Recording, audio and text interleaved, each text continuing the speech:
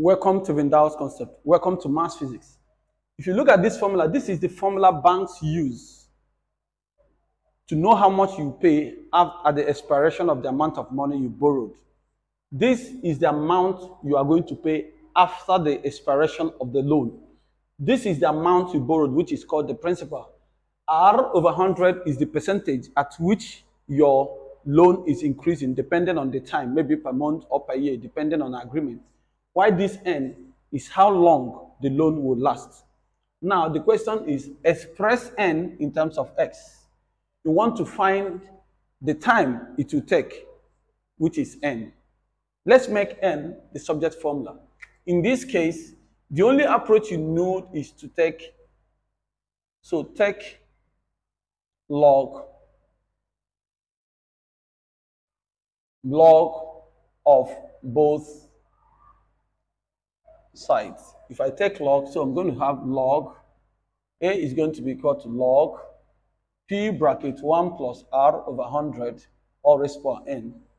So why am I using log? To, to carry this that was on top to bring it down. That is the essence of log. So I have log a is equal to log p plus log 1 plus r over 100 all raised power n. Why the plus? The law says when you are multiplying, p is multiplying the whole bracket. So when you are multiplying, it changes to addition.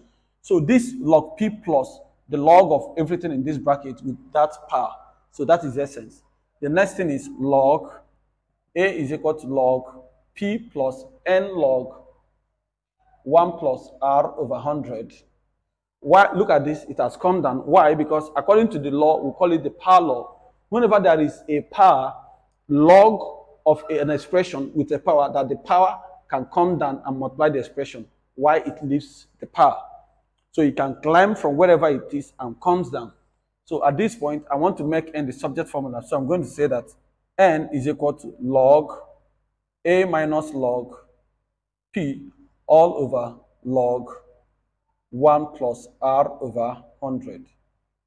That is this. I have made this. So what I did was carry this p to this side, it becomes minus, and divide both sides by log 1 plus r over 100.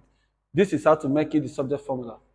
However, you can still break this down. So we can go further by saying n is equal to log a minus log p all over log 100 plus r all over 100. So that is it. I can still go further by reducing this 100.